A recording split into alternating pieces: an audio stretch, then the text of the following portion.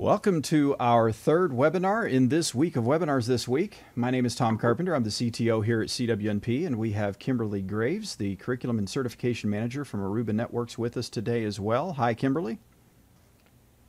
Hi, Tom.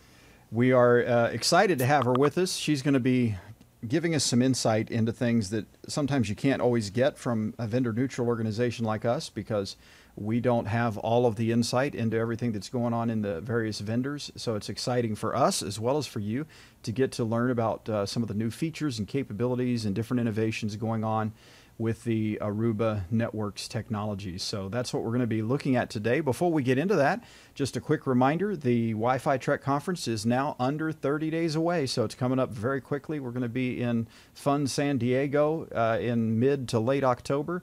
And if you haven't registered, want to get more information, make sure you go to conferences.cwnp.com. That's conferences www.cwnp.com to get more information and to register today. Also, it's important to remind you that this webinar is being recorded and will be archived on our YouTube channel at CWNP TV. So you can always go back and review this information again because I know there are always good insights in these guest webinars that we have with the various vendors and the friends of CWNP.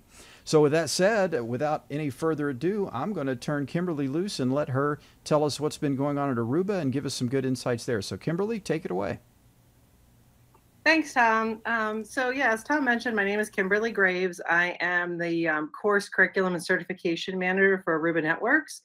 And what that essentially means is that I'm responsible for all of the training courses and all the certification exams um, that are created by Aruba. We've got a, a pretty good team of um, developers who create that course content for us and create our certification exams. So um, what I want to do today is talk a little bit about what we're going to be doing at Wi-Fi Trek. Um, so I will be there doing um, some deep dive sessions. So a lot of the things that we're going to talk about in here today, you'll actually be seeing live demos of that um, during the deep dives at Wi-Fi Trek. So I want to encourage you know everyone who's attending to, um, to attending the conference obviously come to the Aruba uh, deep dive session so you can kind of see a little bit more hands-on um, and actual demos of some of these new products and new solutions that we have um, coming out from Aruba.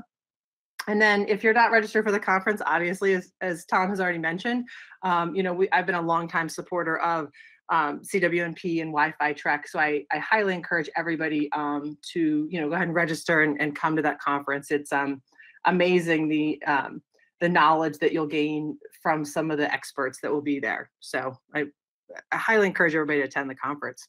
Um, as far as how to reach me, um, my email address is there. It's kimberly.graves at hpe.com. I'm also on Twitter at Kimberly A. Graves. So let's go ahead and get started.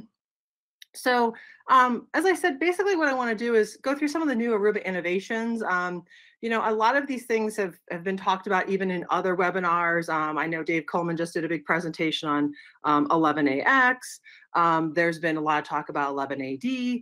So I want to kind of show you what Aruba has in those um, in those spaces and some of the new things that we're doing in terms of how we're unifying our wireless and our wired wired access policies. So most of these features are built on our new AOS 8 platform. Uh, we are currently in uh, release uh, 8.4 of AOS. So what we'll be looking at today is some of the ways we do um, dynamic micro policies, um, dynamic segmentation, some network automation, um, some of the redundancy and load balancing features that we get out of AOS 8 with the clustering technology. And then as I said, we'll be looking at some of those new products that Aruba has coming out, um, the 11AD um, AP and some of the 11AX APs that are, that are on the horizon for us.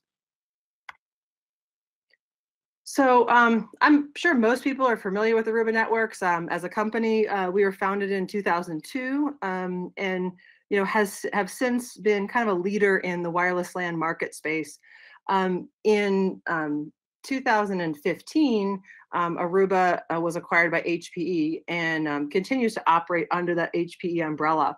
What that did for us as a company is it provided us um, the ability to do both wired and wireless um, unified access. So we've taken a lot of the same features that we've already had in our NAC technology in our access control policies, and we've now been able to implement that into the wired side of the network as well.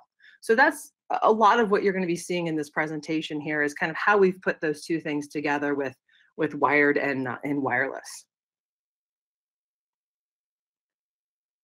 So we term this new um, kind of technology dynamic micropolicy. Um, we'll talk we'll talk a little more about roles and, and security policies in the network, but essentially micropolicy is a way that we can implement very small, very granular um, security policies and access policies and do it in a very dynamic uh, uh, mechanism. Um, Aruba has also in the past acquired a couple other organizations. Uh, one is Avenda, um, and also we have Airwave in there. Um, and these things have all turned into um, a new uh, kind of a, a, new server product for us, and that is the ClearPass um, authentication server. So a lot of what we're going to be seeing in here in terms of applying a, a dynamic policy is going to be done with the use of ClearPass. Um, we also, as I mentioned, have now been able to extend this micro policy concept to our both our wired and our wireless infrastructure. So the idea here is to get visibility, um, unified deployment, and, and basically bring all of these wireless capabilities that we've had now into our wired network. Um, we also are focusing um, more on management capabilities. So being able to, in one dashboard or one interface, manage both our wired and wireless network. And we do that right now with, um, with the Aruba Airwave product. So what does this micropolicy mean? Um, so essentially the idea of micropolicy is, is it's very granular, it's very specific. Um, and of course we wanna provide some sort of enforcement. So that enforcement might be um, VLANs, um, it might be um, firewall policies, it might be traffic prioritization that we do through our, um, our roles, user roles. So the idea of the dynamic part of it is that we don't have to have you know, IT administrator intervention it will just happen automatically. So when everything is deployed and configured, we will get um, a dynamic micro policy applied to our different users as they connect to the network, whether that be on the wired or on the wireless side. The other, you know, concept that Aruba has always been strong in is obviously mobility. So the idea is that this, this policy is enforced across the entire network environment. So whether that user is connecting on the wireless or the wired side, it's going to follow these users um, you know, wherever they wherever they may roam um, throughout the network. So some of the ways that we um, deliver this network automation, and we'll be talking about some of these things in here. Obviously, there's um, a lot more to it in terms of configuration and deployment and making all these pieces and parts fit together um, to get the unified policies. So some of the, the mechanisms that allow us to do this network automation would be our RF optimization features. So we've got two features within that. One's client match and the other one is air match. Um, and what this allows us to do is really optimize our access points, the channel, the power, um, after the network has basically learned about what the RF environment looks like. So we take into account all of the other um, outside RF interference, the other access points that are that are in the air, kind of taking a, a big picture holistic view of what the RF environment looks like. And then we're able to apply policies to the access points to set certain channels and power. And of course, this is all dynamic. Um, we recognize we don't want to make too many rapid changes. So there's um, certainly an algorithm in there um, that kind of um, dampens the, the changing of the RF environment, but at the same time, presenting the best um, user experience. So the best load balancing to different access points um, and the best channel optimization. We'll also be talking about segmentation in here. So it's kind of new concept called dynamic segmentation. And the idea is that um, as users connect across the wired and wireless network, their access policies will be applied um, automatically. And we do that through, um, through the use of ClearPass and, and obviously our controller infrastructure. Some of the other features that we see in AOS 8 are seamless failover and live upgrade. So we'll talk about that a little bit. The idea is all to keep our network up and running um, and maintain connectivity for users as they roam across the network. So let me kind of jump into a little more of the meat of, of how we do some of these things, because I know probably most of you are wanting to know more about the actual technology and, and how all this happens. Um, we obviously have a limited amount of time here, so I'm going to just give you some quick snapshots of our capabilities and what we're able to do. And as I've said before, if you're interested in more, you want to see it all in action, That's what those deep dive sessions are at the Wi-Fi Trek. And then also um, Aruba has um, training courses on all of these, um, you know, configurations as well. So the first big um, AOS 8 feature is clustering. So the concept of clustering has um has really rolled into all of the load balancing and the redundancy features and the ability for us to have seamless roaming um, across our entire wireless infrastructure. So we'll be getting to some of the, the actual details of how clustering is implemented um, in terms of how it's done with anchor controllers, and um, I'll show you some few slides on that. Uh, we'll talk more about the the roles, um, the cluster roles, how the stateful failover occurs. So when a client roams from one AP to another, and even across controllers, we can maintain the client state, meaning we know um, all the information, uh, the fingerprinting of the client, we know the OS of it, um, you know, we know uh, what current um, uh, firewall sessions that that user has um, on that device. So we're able to maintain that state uh, across the network. We'll talk again also about the, the live upgrade and how we can load modules um, while the network is running. So, you know, the whole idea is to try to reduce the amount of network downtime and maintenance windows that we have and, and um, maintain the network while it's in while it's in service. So just a quick snapshot of what is clustering. So um, I'm going to throw some kind of new terms that probably some of the people, if you're not real familiar with the uh, with the Aruba terminology, but we have this concept of mobility master. So mobility master maintains all of the configuration for all of our um, SSID wireless LAN profiles. So it is kind of the big picture of um, all of the um, the network components that we have, um, all of the profiles that we have for the entire enterprise. And then that mobility master, depending on how we've configured our hierarchy, pushes that configuration to different mobility controllers. So you can see here in the um, in the diagram, we've got different MCs. So those are mobility controller one, two, and three. And our user traffic is tunneled to those different mobility controllers. So the idea of clustering is that we select the best access point for the for the user based on the RF environment, and then those access points will be tunneling traffic back to the mobility controllers. Um, this architecture allows us to provide very high availability for all of the clients. And if we have any failover events, we have a, a controller failure, an AP failure, um, we're able to maintain service for all of the users.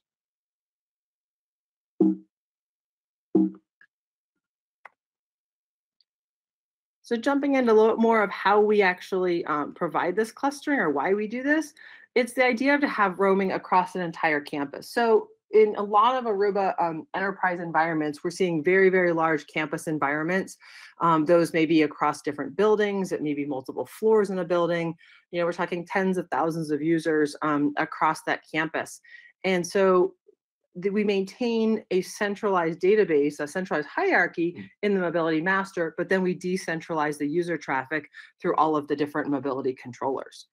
So the idea is that we can have um, clients that can fail with no interruption. So you can have a voice call in session and we can maintain a, um, a stateful uh, failover from one mobility controller to another. Um, another feature that we have is the load balancing. So again, being able to use our RF optimization of client match and air match to basically select the best um, RF environment, the best access point for that uh, particular client. And then load balance. Um, as I'm sure most of you are familiar. You know, our, our big weakness in our RF environment is our clients. So we have very little control about uh, over the client behavior and what clients are actually doing um, and which access points they're selecting, which, you know, channels they're on and, and all of that. So by controlling the network environment, the network architecture, um, we can kind of force clients to connect to one access point or a different access point. Um, you know, we've got some um, technology called band steering where we try to steer clients onto the five gigahertz channels versus the 2.4, getting them off the very congested 2.4 um, frequency band. So there's some technology that goes into that load balancing, uh, but it's also the concept that if a we have a failure, we also have a backup. We have redundancy there as well.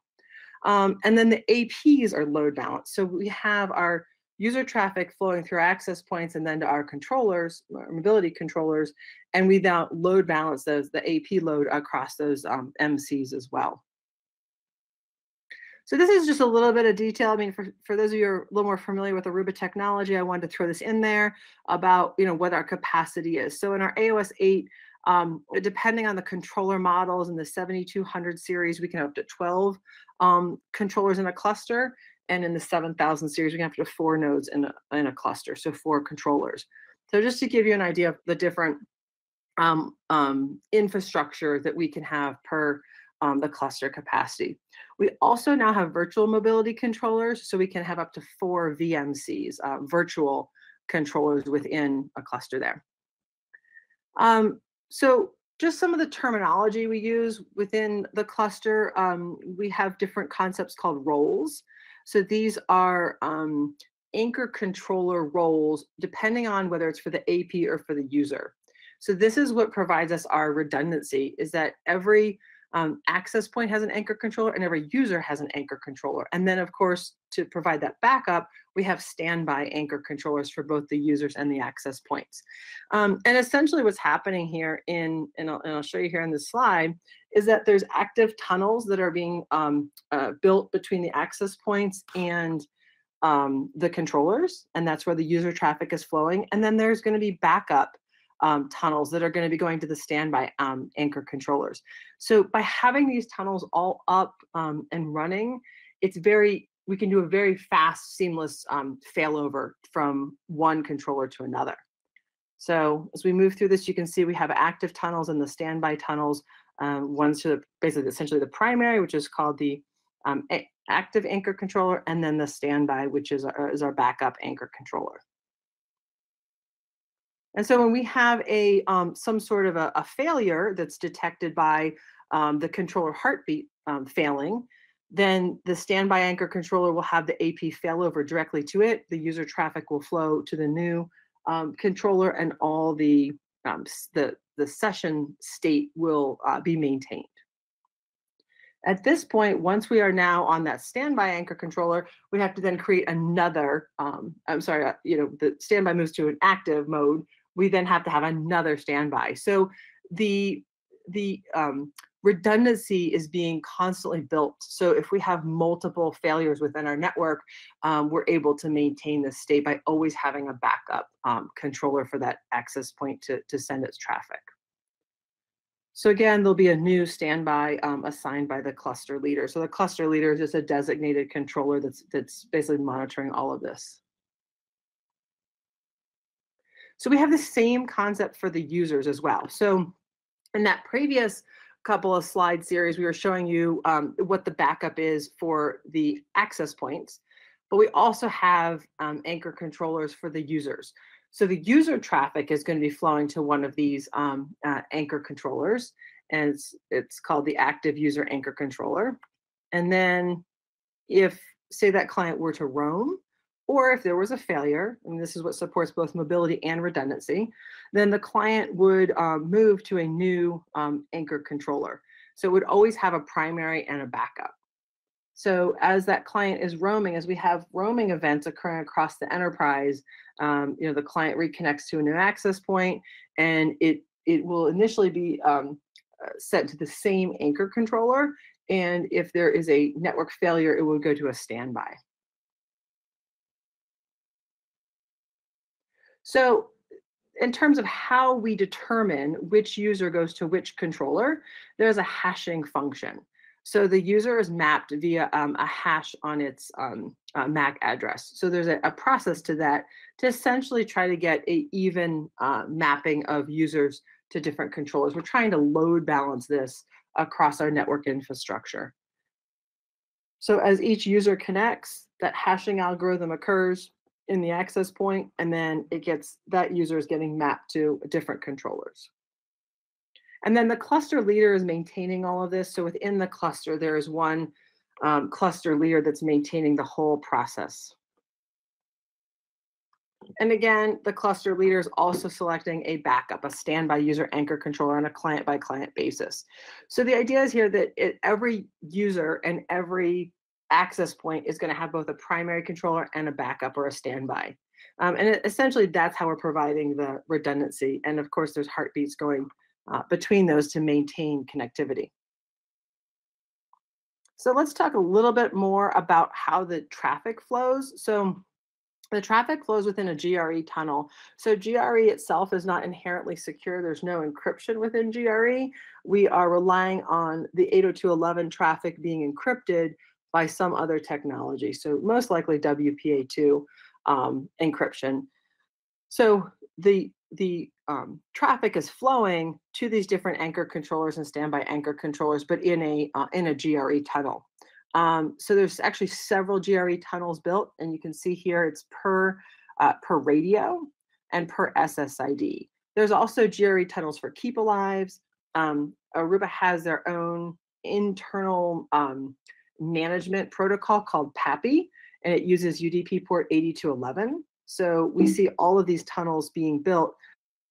Um, you can see there in the legend the different color code. So between an access point that's advertising a particular SSID and both the, the primary um, anchor controller and the standby anchor controller for that AP. So we have those tunnels are being maintained all um, continuously so we can very quickly have um, a redirection in the case of a failover event.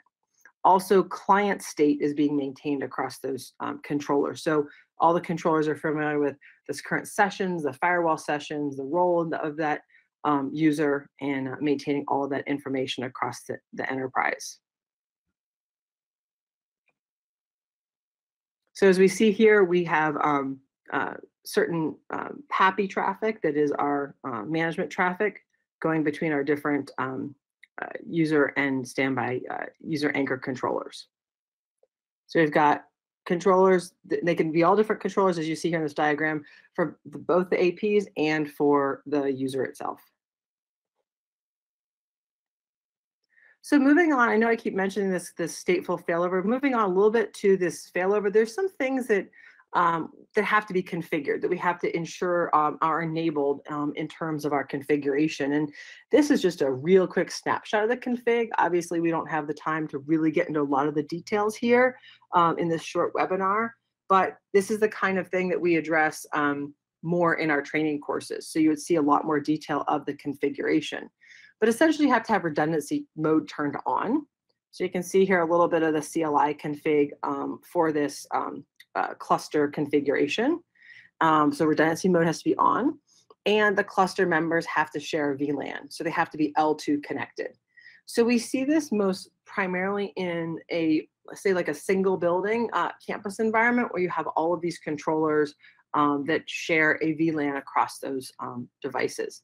Now we can also do mobility across a layer three uh, boundary, but that is implemented with mobile IP as is pretty much the industry standard for roaming across layer three boundaries. So to maintain the stateful failover um, and maintain the sessions, the cluster members, meaning the different controllers, have to share a VLAN.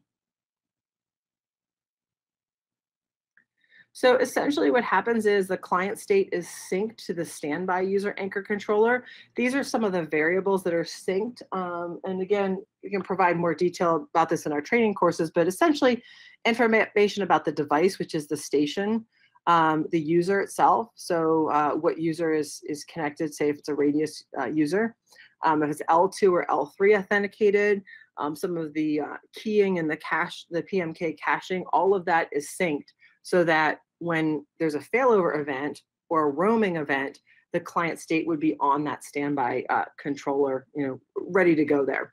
So all the high value sessions. So we're talking about um, through deep packet inspection, being able to to monitor what sessions that uh, user and that device have. So if they've got uh, voice sessions or video sessions or anything that's considered a high value session, um, that would be synced to the the standby, up to 10 sessions per user.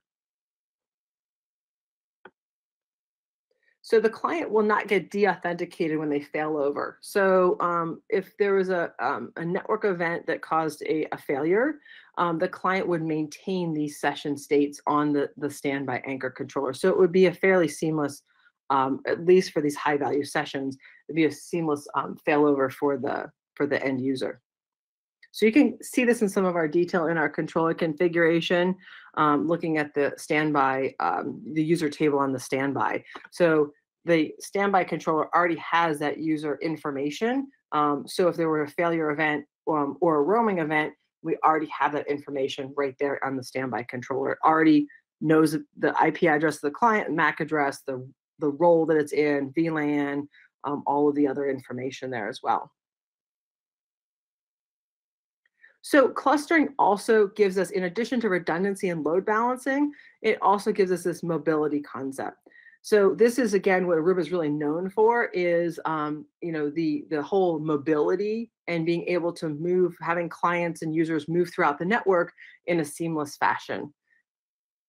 So the way this is um, the way this operates is the user connects to an AP. We talked about the AP um, hashing the user's MAC address and basically assigning a user anchor controller. So now we know where to send, that AP knows where to send that user traffic. Um, so that is being sent in a, um, a GRE tunnel. Again, we're relying on the 802.11 traffic to be encrypted. So it's being put inside of a GRE tunnel. It's per radio and per SSID. And then that is flowing from that AP into um, the, the primary or the, the user anchor controller at this point. When the user roams, so the user is moving throughout the environment, the client initiates a roam to another access point, um, so in this case AP2, then that access point, the, the access point has that same GRE tunnel set up to that client's user anchor controller. So as far as the user is concerned, the traffic flow doesn't change. So the active tunnel now goes from AP1 over to AP2, and the traffic is still flowing through the same controller. Things like firewall policies and QoS and uh, VLANs, those would all be applied there through that controller. So that, all of that information would remain the same as the user roams from one AP to another. So essentially clients are staying anchored to a single mobility controller when they're roaming across controllers. So another um, big feature that we have within AOS 8 is this concept of um, being able to upgrade the cluster. So we can upgrade the cluster while the network is up and running. Um, I'm sure several of you have attended some of our Atmosphere conferences. We've done live upgrades with thousands and thousands of users um, who are currently connected and maintaining um, uh, you know, network connectivity and um, not really seeing any uh, degradation in performance of the network while the network is being upgraded. So we can upgrade individual modules. So things like the app RF component, uh, which gives us visibility into the RF environment, things like air match, um, our air group components. So each of these are different modules and we can upgrade these specific applications without even having to upgrade the entire controller firmware. We can also do an entire firmware upgrade, which is um, called an in-service upgrade while the network is up and running. And so I'll show you a little bit more about that. So basically our as our controllers are being upgraded to a new um, Aruba operating system, the APs will also be upgraded. And um, the upgrade will be planned in sequence so as not to provide any disruption to the users who are currently connected.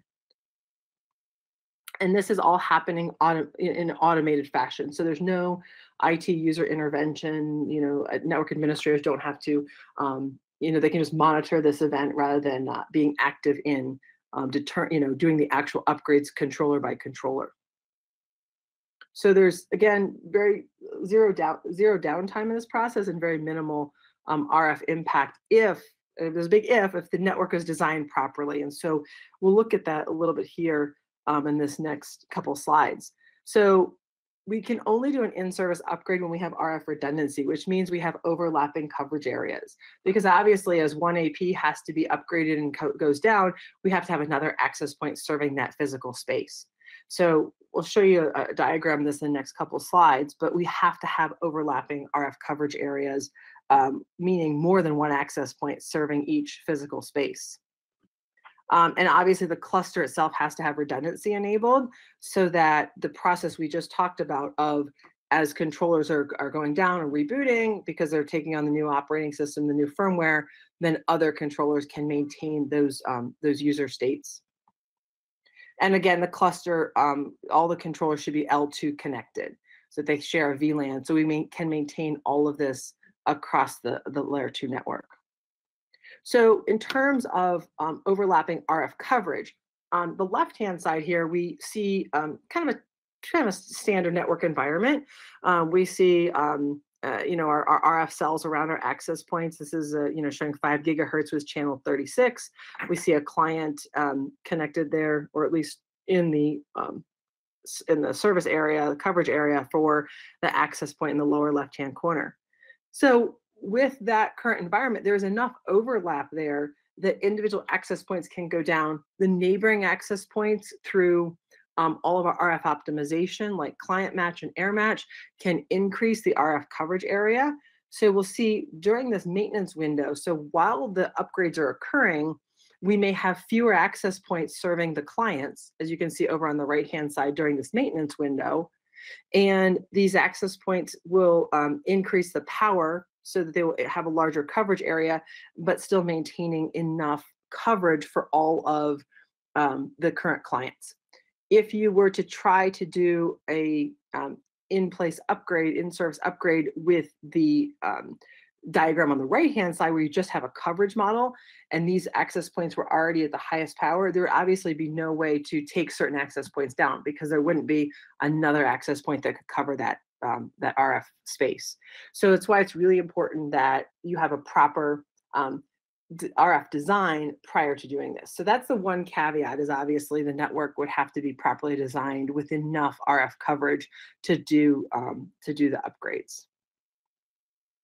So this is a quick overview of how it works. And in our training courses, we have a whole lot, of course, more configuration and, and slides and kind of step-by-step -step labs on how you actually configure all of this. Uh, but essentially the cluster manager and air match are communicating. So the air match um, functionality within the um, the mobility master is to set the channel and the power for all the access points in the enterprise. Um, and they do it does that by gathering information about the RF environment. Um, through a, there's a, some scanning functionality we have within the access points and also within um, air monitors, which are essentially just RF scanners um, that are access points. They're just in a scanning mode. So the cluster manager starts to partition the APs. So looking at the RF coverage based on the five gigahertz channels, because that's our primary concern in most enterprise environments. And then it targets specific controllers um, for each uh, access uh, AP partition area. And then the cluster update manager will have the mobility controllers copy this image, the new firmware image in sequentially, and then perform the upgrade in a sequential fashion where APs can fail over to their standby um, anchor controllers. There's also a way of increasing the speed of this called something called AP image preload, which basically means that we load the firmware image on the access point um, and then reboot them so that there's not multiple reboots in the process. If anyone has um, spent time in maybe the older AOS 6X uh, code stream, there was could be several reboots during an upgrade, but we've tried to streamline this with the AP image preload so that there's a faster um, uh, loading of the image uh, of the new firmware image on the access points. And then the cluster update manager, we start the mobility controllers one by one, um, kind of in a sequential fashion to ensure that there's always um, other controllers available to both the access points and the users. And then at the end of all of this, there's a reload balancing of the client load and um, and air match will again uh, adjust the RF channel and power if necessary. So that's kind of the big picture of how this um, uh, this uh, in-service upgrade um, occurs. So talking more about kind of what's on the horizon um, in the in the future for our unified wired and wireless policy, um, this is a big push within Aruba, probably over the last two years or so, um, especially as we have all of the new switching portfolio um, coming online. We're seeing very um, high level uh, core and aggregation layer switches um, to support really large infrastructure environments. And so with AOS 8 and some of the new features, we are pushing out the same concept of access control that we've done in our wireless network for a long time. We're now pushing out to the wired network. So some of the ways that we can um, uh, implement this network automation is this concept of roles. So Aruba has had roles for a long time. Um, I started, I've been working at Aruba for over eight years and I started working with the um, the AOS. Uh, the first version of AOS I worked with was 2.4. We're now on 8.4. so it's been a it's been a long road, but we even had roles back at that point. Um, so roles have been a concept since the inception of the Aruba operating system, and the idea is that um, the role will follow the user and the device no matter how or where they connect. So whether it's wireless or wired, um, that user will always maintain their role in the network. And of course, the roles are tied into authentication, and we can apply a lot of things through roles, such as the whole access policy. So, VLANs, firewall policies, QoS, bandwidth contracts, um, all of these things are wrapped into the concept of a role. And users can move through um, different roles. So, we have pre authentication roles. So, they'll get a certain role that limits their access to the network um, and say to the internet. Maybe you have guest users we might limit their access until they've gone through a captive portal and authenticated. Um, and then they would get a post authentication role. So these roles can change um, as the user is moving through the network, but the user is only ever in one role at a time. Um, and they just move from role to role based upon authentication and access policy. You can even have different roles. You may want to have a different role for the same user, whether they connect wired or wireless. So you can, again, all of that stuff um, it's, it's very flexible in the um, Aruba architecture to configure that. So something that's um, come out in AOS 8 is this concept of tunneled node. So we can essentially segment our um, our, our, wired traffic and have um, stateful firewall enforcement and visibility into that traffic on the wired side, just like we've done on the wireless side for a lot of years. So it doesn't really matter, you know, in the past, um, users are really tied to their IP subnet or their VLAN that they're in. So the access would be given by subnet or VLAN, whereas now with the concept of tunneled node, we're tunneling all of that to the controller and then letting the controller apply the access policy based upon that role.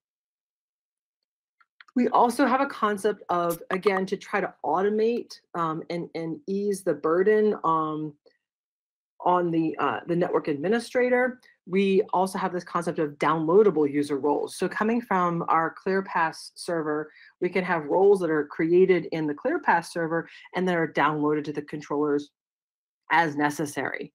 Um, and that increases our security. Um, and it, again, it's a single source of creation of the policy. So we don't have administrators having to configure things in multiple places. So basically the concept of tunneled node is, is what we've done for a long time on our wireless network with our tunneling um, so that all of the traffic is reaching the controller and then the controller is, is applying a, a consistent network security policy. So this can be done via port on a wired uh, Aruba OS switch, or it can be done per user. And the concept of user is be role-based policy enforcement. So the concept of, of this tunneled node can be either a, uh, a, a user-based tunnel node or a port-based tunneling. And this gives us ability to run the traffic through the Aruba controller and take advantage of all the security features and all of the, um, the, the access policy features within the Aruba controller. And again, we can include ClearPass in this in this whole um, process to provide the authentication. So ClearPass, the traffic can go through ClearPass um, to provide authentication uh, functionality. And then, as I've already mentioned, we separate traffic into different GRE tunnels to just provide a little bit more enhanced security there. Um, and then providing the redundancy through redundant controllers and, and clustering support. So what the unified policy looks like for wired and wireless clients is we've got the enforcement through ClearPass. So the authentication um, is uh, the authentication process is that the controllers are interacting with ClearPass to provide us a, a central radius server um, to provide um, enforcement of our um, authentication. And then Airwave is providing us the visibility. So Airwave will tell us all about the users who are connected, all the clients. Um, we do DHCP fingerprinting, so we know what operating system the clients are running. We have user information. We have statistics, um, whether it's going through a wired port or wireless connectivity. Airwave provides us that visibility into the client. Um, Airwave is is a, a centralized server uh, a good repository for long-term monitoring. So we can see if there's um if there's rf issues with that client is that client uh, performing a lot of roams from access point to access point? Um, you know have has the client had authentication issues? So airwave is our central network management interface and providing us the visibility into what's happening with the clients. And then within the controller, we have the capabilities of the firewall um, AppRF, which is giving us um, the, the basically the deep packet inspection and visibility into not only the protocols that the clients are connecting with, but also the URLs. So maybe a, a client is out surfing the web and we can see what uh, URLs the, the client is actually going to. Um, and so all of this provides us that visibility um, into what's happening um, on, on the user, the user experience. So a little bit more detail about the, the two kinds of tunneling, uh, the per, per, port and per user. So to, to just get a little bit more into this um, in a per port mode, um, essentially the controller is interacting with uh, the Aruba OS switches. Um, kind of a side note to all this, if some of you are um, haven't worked with Aruba in the last, uh, I'd say about two years, we now have an entire portfolio of Aruba OS switching. So all from the access layer up to the core uh, we've got a lot of new um, uh, switching features, and we've actually got a new operating system that runs on some of our core switches called Aruba OS CX. Um, and actually, we are in the process of developing training courses on, on all of that technology right now. Um, so if you're interested in, in these um, kind of core level um, switching concepts, um, that would be that would be a, a, place to get more information is through one of those training courses. Um, but essentially the we have like i said per user which is role based or per port which is um, for the physical port on the switches. And so the controller and the switch um, uh, negotiate the capabilities of that switch and it's depending on the aos uh, versioning um, to say okay we're going to be only doing per port mode here as opposed to user mode which may or may not be supported. Um, and then we can tunnel that traffic from the port of that switch to the controller, and then the controller can apply a centralized uh, policy, just as we would have done in a wireless environment, but now it's on a, a physical um, switch. And in the per user mode, we've got um, uh, heartbeats that are going back and forth between our, our switches and our controllers, and they're again negotiating um, what the process is. They're negotiating the capabilities. Oh, is this a, a an AOS 6 um, device or is this an AOS 8 uh, device? So um, we are supporting two code streams right now, the 6X and the 8X. All of the things I've just been showing you with clustering, uh, all of those um, failover features, those are all um, components of the AOS 8. Um, and we're seeing a, a, a, strong move with a lot of our uh, customers moving to AOS 8, and we're doing the same thing within our training and certification programs. Is we've had training courses out on AOS 8 for about almost a year now, probably about 10 months. Um, and we're seeing a lot of our certification exams move to AOS 8. So that is kind of the future of all of these um, technologies. And so there has to be happy um, negotiations between the switch and the controller to determine what the capabilities are, whether that switch supports per user or per port. And obviously whether the MC, the controller is a 6X or an 8X um, uh, operating system. And then if there's a, a cluster, there's other information that's sent about the clustering uh, process. Because even in AOS 8, we can run a controller in standalone mode. It could just be a, a, standalone controller, a single controller. Obviously, you don't then have any of the clustering or redundancy features that we've been talking about. So when the user connects, the authentication is sent to Radius, so to ClearPass, um, and then that ClearPass server is going to reply based upon how the user is authenticated and provide role information. Um, and then the controller is applying that user role to that user. So um, a, a, GRE tunnel is built for that um, for that user traffic, and the traffic will flow from through that switch to the controller, and all these um, firewall policies, um, VLANs, you know, whatever has been configured in the um, in the controller would be applied to that user. So let's say that the the user role was um, um, just to allow only local traffic, then we could apply only lo local, you know, traffic would be allowed. Maybe this, this user can't go out to the internet. Maybe they haven't authenticated yet. Um, all of those things are configurable in the controller. But the concept is, is it's a per user authentication process as opposed to a per port, which has kind of always been the traditional way of applying access uh, policies in a wired infrastructure. And again, as that user moves, maybe they they uh, have another user that plugs into a different port. So you can see here um, a different user. They may authenticate through the same process, um, but they get a different uh, VLAN and a different role. So in this case, it's finance versus IT. They would have different access policies um, and, and, you know different firewall uh, roles in terms of what they were allowed to do on the network. So the next generation of, of this Aruba uh, process is dynamic segmentation. So it's kind of taking what I just showed you to the next level um, and applying something called colorless ports. So essentially it doesn't matter um, what physical port a user plugs into, they're going to get the same access policy no matter which port they plug into. Um, so consistent across the entire infrastructure.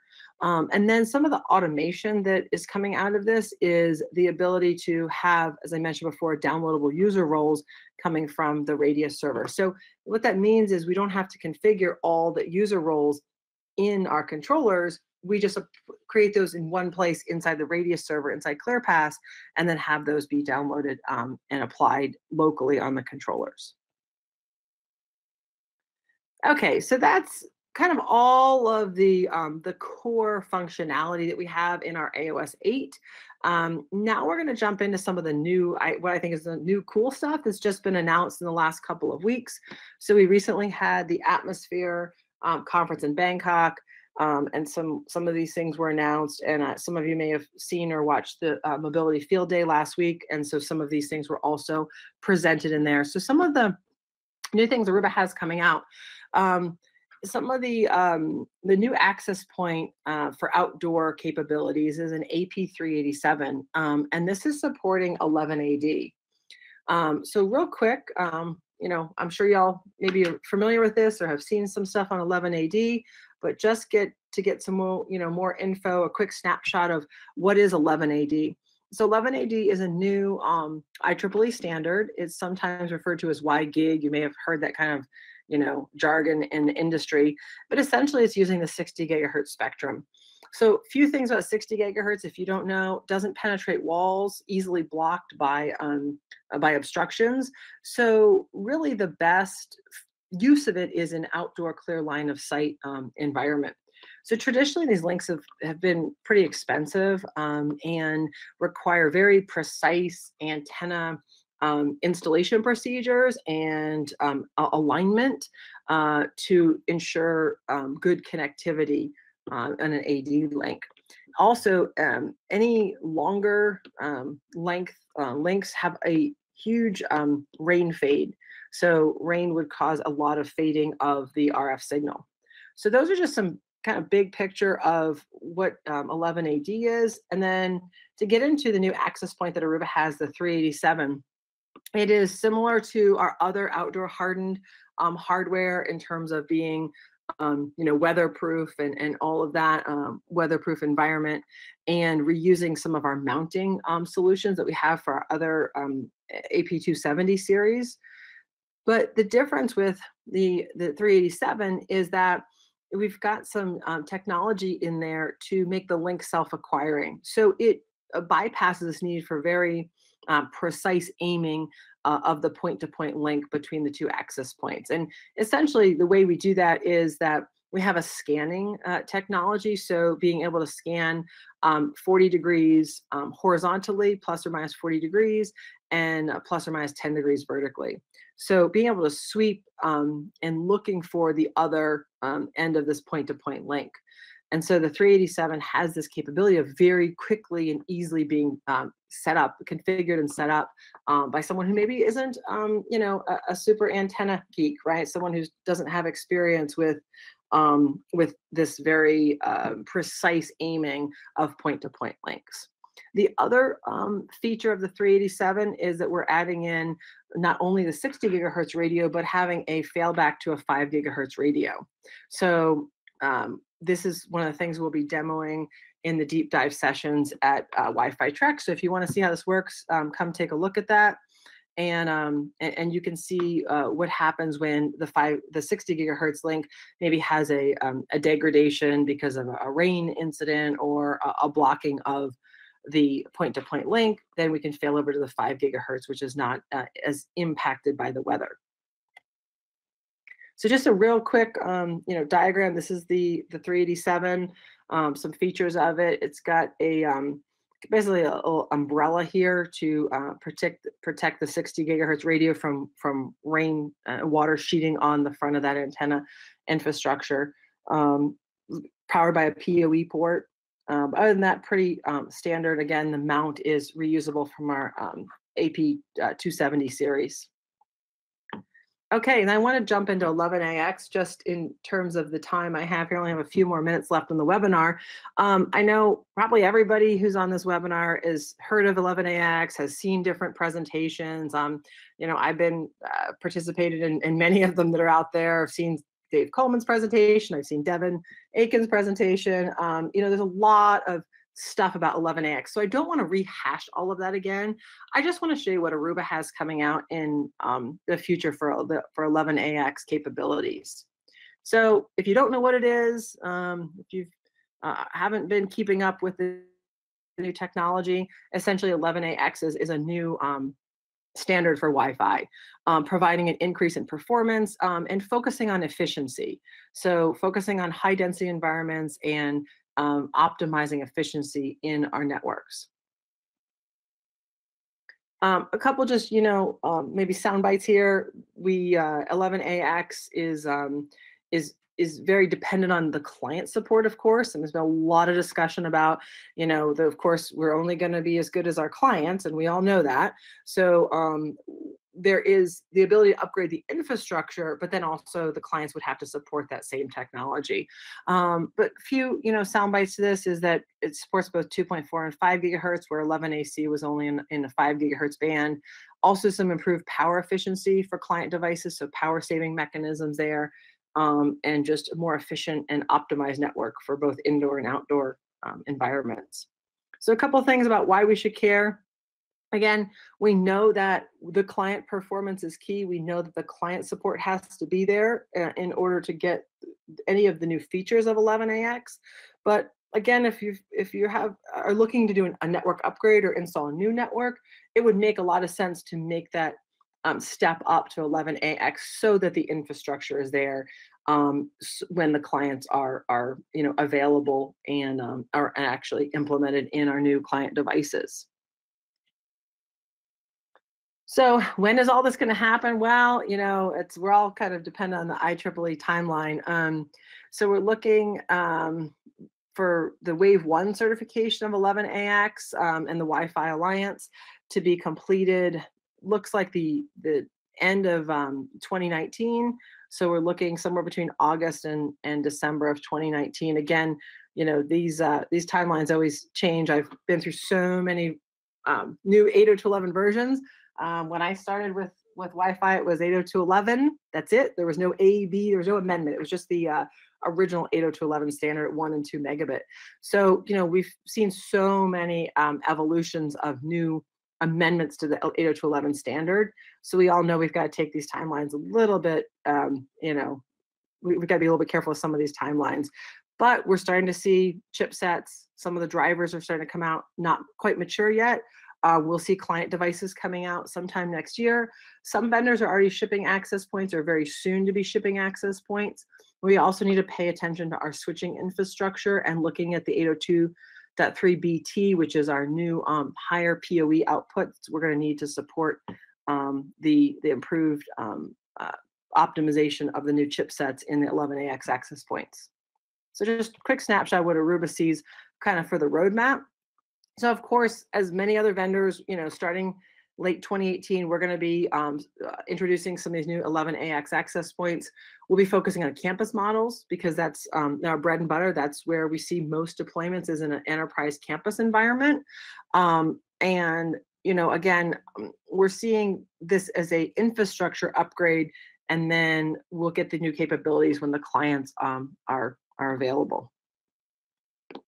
So again, just in interest of time, kind of hurrying through the last few slides here, but um, essentially um, Aruba's 11AX, we've got new access point line coming out. It's the, all the 500 series. So a 515, an AP 535, and an AP 555. So keeping with our, um, our, our numbering of our models, uh, moving up in the performance and capabilities.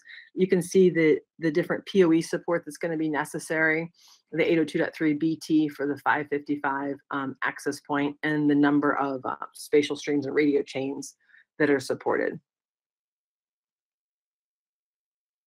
So if anyone has any questions, um, I think we'll Tom and I'll be taking a few questions here at the end. Also, you know, the whole concept here is to show you what little sneak peek into what we're going to be doing at Wi-Fi Trek in the Aruba deep dive sessions. We'll be doing those on Wednesday and Thursday evening um, after the main session is ended, showing you some demos. We're going to bring, bring some equipment in, showing you some of these uh, these new access points and, and capabilities. Um, my focus is obviously on Aruba training and certification. So if you want more information about our training courses, um, we offer a wide variety of um, delivery mechanisms. So instructor-led, virtual instructor-led, um, e-learning. Uh, we have HPE Press self-study guides. So every one of our um, courses um, after we create the new, we develop the new training course and it's gone through a beta process. Um, a couple months later, we'll see an HPE Press self-study book. So for people who are interested in our certifications and want to just read up on it themselves, that's a, a quick and easy way is to look at the self-study guides. And then of course, um, we have the Airheads community. So community.arubanetworks.com, where you can um, see our different events. We have um, our larger atmosphere conferences. We also have more localized, they're called um, ATM meetups. Um, so you can learn about those events. We have the validated reference design guides there. You know, there's forums for you to read, ask questions of other um, Aruba experts. And then a little bit about what we do at Aruba Education Services. So our, our main charter education services is to enable Aruba advocates. What we want is our customers, partners, employees, we want to, to train them and teach them about Aruba technologies and solutions so that they can go out and, and to promote those products and to deploy the solutions that we've presented um, and, and to teach other people about um, our technology. So that's that's essentially what we do is to um, promote the technology uh, both internally and externally. And we do that through training courses and certification. So we have an entire certification uh, program. I didn't want to focus too much on this. I know in past um, events I've done different uh, views in our certification curriculum. If you have questions, certainly email me, reach out to me. Um, there's a lot of information on the website um, that has all of our um, course schedules and you know training uh, delivery options um, that you can get more information. If you just need have a general question about training, it's Aruba training at hpe.com. And then this is, I just included this. I won't go through all the details, but this is just the big picture of our certification structure. Um, and essentially all of our certifications follow an associate professional expert level um, progression through the certification track. We offer that for both mobility and switching. We have a new design track um, we have a ClearPass track. We have location services um, training course and exam. So um, a lot of different components. In the future, there's a few things on our roadmap. I know maybe a few people have heard some sneak peeks. Um, we'll be doing some new things uh, surrounding security with our new Introspect product. We will be doing some things surrounding network management um, and, and cloud management um, as we expand the Airwave product offering. So you'll be seeing some new certification um, and courses coming out from Aruba Education Services. And then lastly, I just wanted to promote the, um, the Atmosphere conferences. Those are a great way to get, um, you know, to meet all the experts, to get, uh, you know, overload of technical information. So um, we offer the larger Atmosphere conferences, and then we offer local meetups. So local meetups are shorter, one day, um, quick overview of a new Aruba products. We'll do some demos there. So if you want to get more information about that, go to the Airheads community um, to learn more about those, those meetups. And um, that concludes what I have. So I think I'm pretty much right on time. Um, so I'll kind of turn it back over here to Tom. Excellent. Thanks, Kimberly. Great information. Hey, I have a quick question. Can you go back two slides to your certification structures? Um, sure. So right here, this is a question I have. Um, is there any prerequisite for the ACDP, uh, or can someone actually start right there if they've got a lot they of can start right there. Okay, yeah, that, that's what I thought. Yeah, so we, we kind of went a little bit backwards on the design, honestly. And I will tell you, for eight years I've been in Aruba, all I've ever wanted is a full design track. And it always has been pushed out for some new product. Okay, we got this new hot product, we got to talk about this. And um, we've really expanded um, in the last probably year our curriculum development team. We have now nine people that are working on course curriculum and certifications. Um, in addition to myself, so it's ten of us.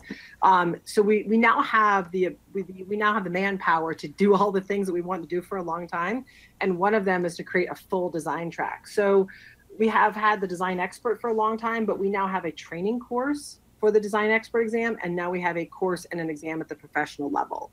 Okay. Um, right now, we don't have an associate level for design. That may come in the future um, as we kind of fill out these tracks a little bit more.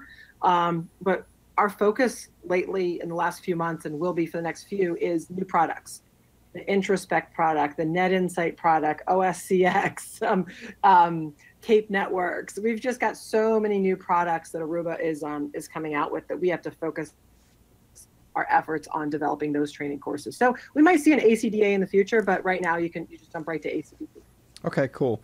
Um, and I have three books on my shelf um, in the Aruba certification tracks the Mobility Associate, the Mobility Professional, and the Design Professional, the hardcover books from HPE Press.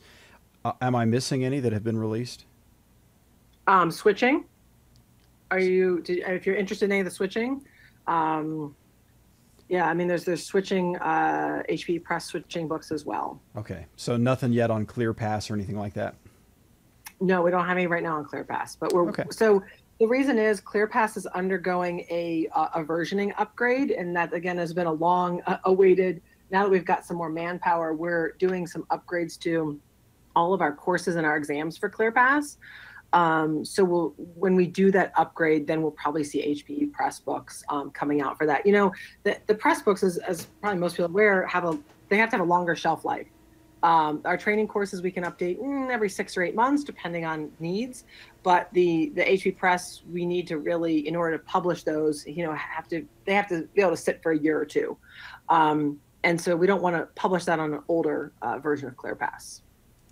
Okay, But gotcha. that being said, there- there's other options like e-learning. You know, if someone doesn't want to attend a full training class, we have we've created these new, probably in the last year or two, new e-learning options and self-directed labs. So essentially, you get access to a remote lab and you can go through all the lab steps on your own, um, all the configuration. So that's another option for someone who doesn't want to sit a full-blown class.